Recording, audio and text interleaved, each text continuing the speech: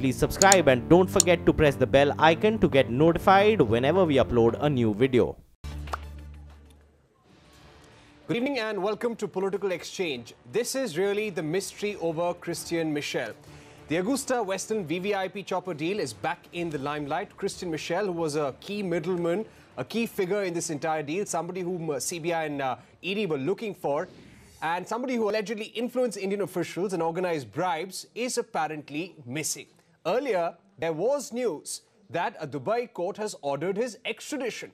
But now we are given to believe that this was only an opinion because on the 27th of August, the UAE authorities had asked a UAE court whether a national of a British country can be extradited to India from the UAE. And an opinion has been delivered on that, but there is no extradition order. So, what's the way ahead? Can we really get access to Christian Michel in the days to come? And why no official word from the Indian government on this entire episode? and this particular order from the UAE. Joining us now to take this forward is former CBI Director AP Singh, BJP spokesperson Narendra Taneja, Congress spokesperson Priyanka Chaturvedi, and former diplomat KC Singh. Thank you all for joining us. Ambassador KC Singh, first to you. 18 hours back, we hear this news that he's going to be extradited. CBI has no information. The government doesn't say anything on record. And now we, give, we are given to believe that this was only an opinion, not an extradition order. What does this show? You see, extradition, yeah, extradition is not merely a judicial process. It's not often understood that extradition is handled through foreign offices because finally it's a political act. Uh, therefore, it begins with the foreign ministry in Abu Dhabi or in our case in Delhi. And they, I'm surprised they sought that opinion, if they sought that opinion, because I negotiated the extradition treaty as JS consular passport and visa in 97. And the treaty is very clear. I remember the Emiratis were only insisting that they will not extradite their own nationals. So we kept that in the treaty. But it's very clear in the treaty that you can extradite other countries' nationals or Indian nationals or nationals of any other country. But the fact that they were making this query means that the request has gone to the Foreign Office. They are making that query. Obviously, they did not read the treaty carefully. And only then they will decide to give it to a magistrate to opine on it? Or has the magistrate given, an, uh, given his judgment and then they are referring back to him to say, mm. can we do it, which is, as I said, a political decision, can we send a British citizen out? Now, I would just like to add here, having been ambassador in Abu Dhabi, that Dubai has very close relations with yeah. Britain. Uh, Sheikh Mohammed, who is now the Prime Minister and the Vice President and the ruler of Dubai, he races horses, he spends his summer in England. Mm. There's a much closer relationship between Britain and Dubai than Britain and Abu Dhabi. So therefore, mm. I would be really surprised mm. if they act, acted very quickly and said, here is an Englishman. And, uh, and, so we don't know what is the stage. We need clarity on that. Hmm. Okay, and uh, you know, Taneja, to you, uh, this was supposed to be a big catch for the NDA government through which they could expose corruption. They could probably get to the bottom of the AgustaWestland VVIP chopper deal scam. But don't you think that there should have been more clarity from the government? It's been almost 20 hours since we've been hearing this news. There should have been some official clarity on what exactly has happened in the UAE. No, these are media reports. We have seen the reports. The government will come out with the with a government statement on the issue or the government agency when the time is right and when they really have think that this needs to be there is something conclusive and that needs to be shared with the country. So at that stage that will be done. But we have seen the reports and our effort is very clear. Effort is to you know to to uh, to bring him to India and uh, also so that we can connect all the dots and this investigation into the corruption into this uh, you know bribes and all that issue is, uh, is, uh, is resolved and communicated to the people of this country because after all the money that was taken away belonged to the people of this country. So our effort is on and the Ministry of External Affairs is working and as Ambassador KC Singh explained that there are you know channels and there are mm. procedures so that the government is pursuing along those lines. But as far as the communication and all those things are concerned, that will be done at the right time by the right agency of the Government of India. Okay, and uh, if I can quickly go across to uh, Mr. AP Singh, former CBI director. Mr. Singh, what has happened so far? If this is only an opinion that has been sought from a UAE court and an opinion has been delivered that he can be extradited in future, are we really any closer to getting back this man, Christian Michel? Well, I think that uh, it's a positive development, and our uh, relations with the UAE have been very good. And we have been able to extradite a lot of uh, people from the UAE. If you look at the records, then since 2002, we have extradited almost 20 people from the uh, UAE who were wanted by India. Now, most of these, uh, in fact, all of these were Indians. So this is the first time that uh, a foreign national would actually be extradited. So we have to see what the result of the court would be. Okay, Mr. Singh, I'll request you to hold on. But uh, Priyanka Chaturvedi, coming to you, the BJP has always said that uh, the AgustaWestland Chopper deal shows corruption at the highest level in the UPA. There is a feeling in the BJP that they are close, the government is close to getting Christian Michel. What do you feel about the handling of this case in the last 24 hours and the way ahead?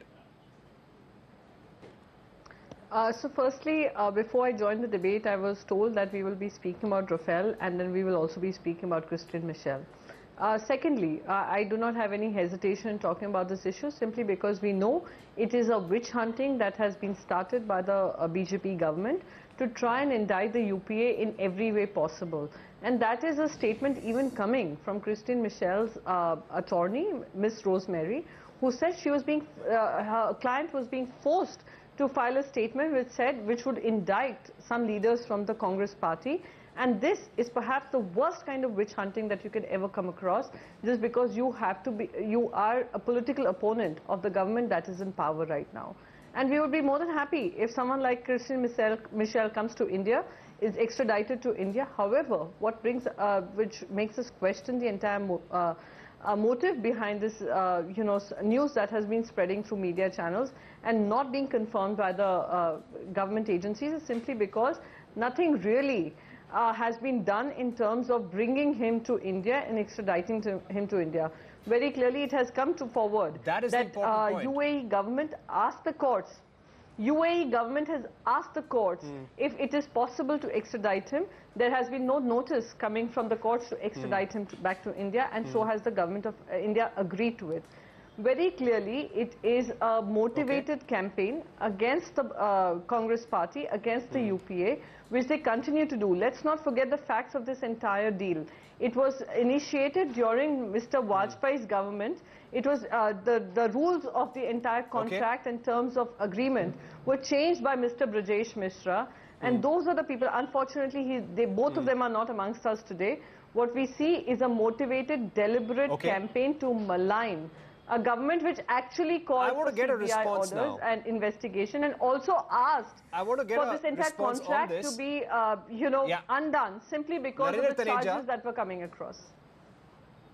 Priyanka Chaturvedi raising an important point, saying that the fact that there is nothing concrete, even 24 hours after this news broke, the Indian government has no paper in hand. It only goes to show that this is a motivated witch hunt. How do you respond? Well, motivated witch hunt, all the entire world, you know, joining hands with the BJP. There are no diplomatic, you know, the UAE government doesn't understand these things. They are ready to go along with the BJP on this. I mean, all this is what it is. I mean, uh, Ambassador KC Singh, who is luckily on the panel, just ask him, is it... And unfortunately, I don't want to have tutu meme with you. Please listen to me. I listen to you, listen to me, okay? Now the thing is that all these things, you know, there are international protocols, there are diplomatic procedures, there is a diplomatic decorum. So these are the, as a big country, as the sixth largest economy of the world, you know, we as a country on the high table, we know how, how to conduct these things. When it, we can have internal tutu memes and all that, but when it comes to external relations, you have to go along. You have to go along with certain protocols, certain, you know, certain decorums and things like that. So that's being done. The question is that I can understand why uh, Congress party is rattled because they know once this person is uh, brought to India, then the person is going to you know, share the whole story. Who took the money? What happened? What exactly happened? Who were all okay. involved? The point is, the CBI is doing it, and the CBI is doing its job. It's a professional agency, autonomous organization. Uh, we are, why should they be rattled? They're rattled because they've got something to hide. If you have nothing to hide, put a smile okay. on your face and have a decent and civilized debate. All right. You know, Ambassador K.C. Singh, you've been you've been in diplomacy Can I for decades. answer, you have been in the UAE as well. You headed our mission there. I'm going to quickly come to you, Priyanka, but uh, I just need to get a response from uh, Ambassador KC Singh. Ambassador Singh, when there was such news going on for the last 24 hours, don't you think it was incumbent on the government to clear the air on what they know so far, or at least say that we don't have a copy of the order? Not having any formal statement from the government on such a big matter, you know, it's a little baffling. Uh, Am I wrong in my yeah, judgment? first one quick, uh, yeah, first one quick comment and then the answer to you. My good friend AP is making a little mistake here because I was ambassador there when we started sending people back. They were deported from UAE. We never used the extradition treaty because they were Indians. So what they would do would be we bypass the whole procedure and they got deported. Now, being an Englishman, he will fight for it. So I don't know whether so far we've really tested the extradition treaty mm. and how the judges in UAE will deal with it. And I think that's the problem they're having because they don't seem to have much experience because between GCC, they just hand over people to each other. And generally, they will deport or hand over to Americans or whoever comes. This is a complicated case. Now, hmm. once the case starts, uh, now hmm. I think the government should have clarified yesterday. Hmm. We should know the. Now, today some channels are saying Arabic is being translated. For God's sake, we got interpreters in Dubai. We got interpreters in Abu Dhabi. Our own ambassador to UAE is fluent in Arabic. So, if there's an order, they'll very quickly be able to see what that order is. So, I think government, instead of all this debate developing, should have very quickly figured out what had happened. Hmm. Is this a pre-extradition proceeding where a query is being made? Has an order been passed by a magistrate and there's a hmm. political judgment being made in Abu Dhabi and that's why they are again asking the magistrate, can we send him out? Because that, that's always done. The Foreign Office will make a final determination whether a person, even after a judge says, can Okay. be extradited, the final call will Yeah. be of the Foreign Office. So we want to know at what stage the case is. Hmm. Is it preliminary? Is it advanced? Is it final? Surely in 24 hours we should have figured Okay. that out. All right, Priyanka, one very quick uh, answer from you before we take a break and speak about Rafale. Uh, KC Singh, clearly saying that there should have been a government statement, but Narendra Taneja feels all protocol has been followed. I'm sorry. Uh, as far as Mr. Taneja is concerned, unfortunately, he comes ill-prepared for debate, so I cannot argue with someone who's ill-prepared, but I can only state some facts. The facts are that UPA started this investigation under CBI. UPA is the one which cancelled the entire contract. UPA also ensured that transparency was maintained. Unfortunately, under their government in the BJP, we, let's, let's start with the Lalit Modi, where the protocol was followed and he was allowed to get a pass, uh, to get a visa on the request of the foreign minister of this country. Let's not forget Vijay Mallya, where the CBI, uh, in its entire defense uh, to get Vijay Mallya extradited, uh, the High Court, the UK High Court Okay. judge has, uh, you know, gone on record to state that you, uh, India is not doing enough to extradite Mr. Vijay Mallya, and you know all the developments after that show how the BJP government is hand in glove with such people. Let's not forget how Mehul uh, Choksi managed to get a no objection certificate for his citizenship uh, uh, in a country which he was seeking a citizenship Priyanka, I'll have to. I'm sorry, you. Mr. Nirav Modi continued to Yeah. get a photograph clicked as one of the most powerful businessmen in India Okay. at the World Economic Forum with the Prime Minister of this nation. This is the truth. And the last reality is that Christian Michel's uh, attorney has gone on record to state that a Okay. statement was being forced by uh, his, uh, you know, the government of India to be signed by Christian Michel, which he refused to do and he continues to be hounded just to, uh, you know, uh, All right. continue the witch hunt against the government which was in power and against the senior leadership of the Congress All right. party which opposed Mr. Priyanka, Narendra Modi. we're running out of That is the reality of the Bharatiya Janata Party and their We're going to take a so-called short break here. We're going to have to talk. allow me we're going to take a short break here, and Mr. Taneja, I'm coming to you. We're going to take a break. We'll talk about the Rafale deal. We request all our guests to stay with us.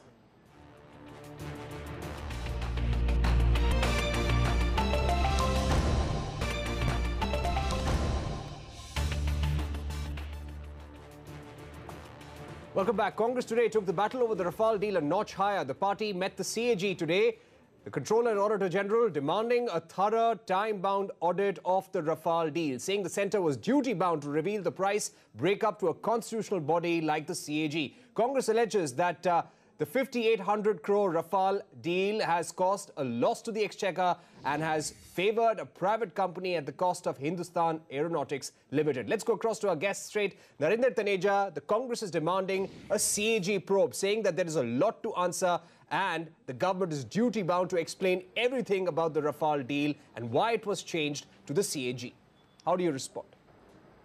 Uh, okay, yeah, uh, I'll respond. But first thing first, you know, Priyanka ji made a personal remark against me and I have to make a remark. It's very simple. Priyanka ji, you are temperamentally unfit to be spokesperson. Temperamentally unfit, and Congress party no, leadership must remove you from this unfair. soon as possible. No, you know that's unfair. No, she made a personal remark. I don't think she called me ill. She that I come ill prepared. I'm sorry. I'm sorry. She made a personal remark. So I have to return that. Now coming to the coming to Rafale, you see, as far as Rafale is concerned, they are they, they are. This is just basically to try to you know attract attention, nothing else. They hope that this will make a headline, but they at their heart they know there is there is nothing. They, this is not an issue. There is no controversy. They're just manufacturing something and going from you know uh, pillar to post, this place to that place. But the point is, if you have something what, do you, what exactly you're trying to say? What is the evidence? If you have something, share that with the people of the country. You know, and you don't have anything. We know that. You're basically trying to write something in water and it's not going to hold, it's not going to sustain, it's not going to survive. But they basically, because they have no alternative to our, our, you know, our work in terms of development. They have no alternative. So what they basically is doing, since they know the party is doing a great job, and people of India are happy. Look at inflation, look at FDI, look at everything. Mm. People of India know. so they have no issue. Mm. That's why they're trying to build up something and hope and pray that this will stick mm. and goes in their favor. That's not how politics is. This is Rahul Gandhi brand of politics. And Mr. Rahul Gandhi, with all due respect, okay. is what Mr. Rahul Gandhi is. Ask even a child of the country and he will tell you who Mr. Rahul Gandhi is and what okay, is his Priyanka, brand of politics. Narendra Taneja, Narendra Taneja saying that there is nothing that the Congress has to offer, no development, and that's why they're resorting to this. Oh, firstly, I must say, when ill-prepared spokespersons are so rattled, that they actually use the national television to ask you the, are ill prepared uh, you, know, you, are unfit. you are unfit to be a spokesperson from the list. You come and only insult people. You are unfit. I, I find, find you, you come and only insult people. You know, you, that's only you know because you never prepared. You know you are never prepared. I did not interrupt him. I did not interrupt him. Let's not make any personal remarks. let's not make any personal remarks Mr. Taneja. how prepared are you? You come in prepared you are unfit hold on hold on you are the most, Priyanka, most no personal remarks against anybody. You go for personal Mr. Taneja, I'll have to ask you this now. No, no, she launched it. Please, no personal remarks. No personal remarks. I'm going to move on to KC Singh. Hold on. Let's have peace on that front. Ambassador KC Singh. Do you think now the question has come down to this? The opposition has been asking 10th April 2015, what happened in Paris that this deal changed from 126 fighter jets to 36 fighter jets? Do you think that is a valid question and probably demands an inquiry like the Congress is asking? Ambassador Singh? Without going into the merits of this case or earlier cases, I think a lesson which both parties should draw right from Bofors downwards is that it's important that we have a consensus. It's important that governments are not seen as avoiding a debate. When governments start avoiding a discussion about the details, then people suspect there is something that they are hiding. And there's really no political advantage in doing that. Mr. Rajiv Gandhi was very badly hurt by Bofors. Uh, similarly, this one government by saying that no, we don't need to explain it to anyone is not a good enough explanation.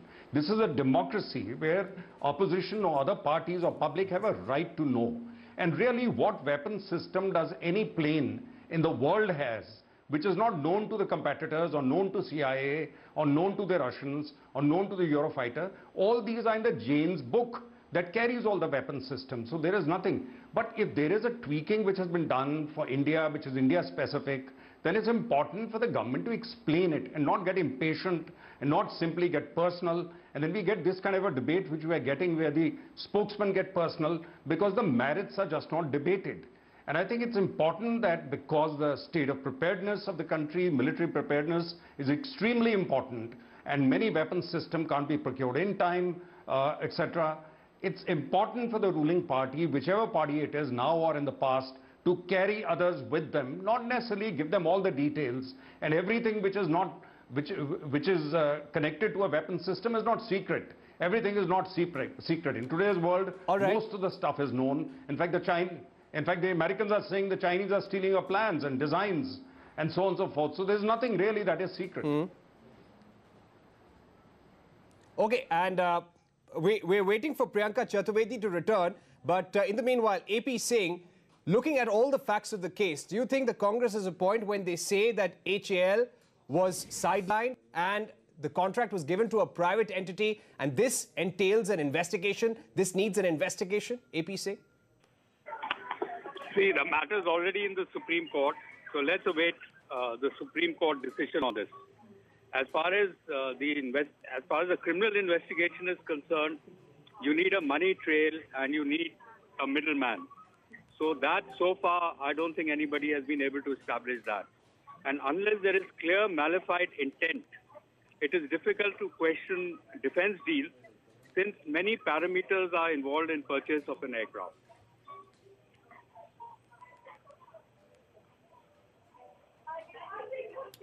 Right. And, you know, Narendra Taneja, I think Priyanka Chaturvedi and also Mr. KC Singh has made this point that probably a clarity is needed. Somewhere the government needs to talk about the price of this aircraft and needs to put things into perspective for once.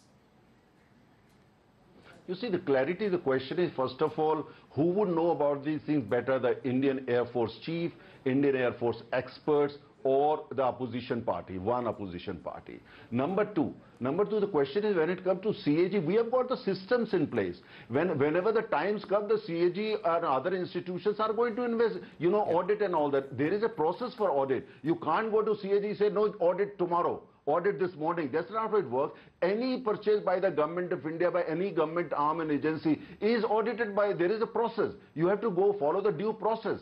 Just because you have a political agenda, you can't go to CAG and say you invest, you audit it tomorrow morning. Is that how it works? We, do we live a banana republic? A Congress thinks it's a banana republic? It's not.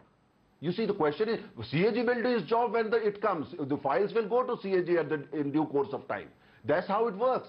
But what they want basically, they are not interested in anything. They only want to create a big, try to, you know, the effort is to create something out of it so that they can go to the people because there's nothing substantial to offer. They have no alternative to our agenda, our work and all that. That's why they're doing it. But the people can see through it, the country can see through it. And uh, trust me, the country is just laughing at them. Okay. We'll have to leave it there for the moment. And uh, the Congress, of course, is going to fight the BJP over this issue in the days to come. And uh, we'll continue to follow the story very, very closely. The government, of course, saying that this deal is much better and cheaper than that of uh, the UPA. Ambassador AP Singh, Narendra Taneja, Priyanka Chaturvedi, uh, KC Singh, thank you very much for joining us.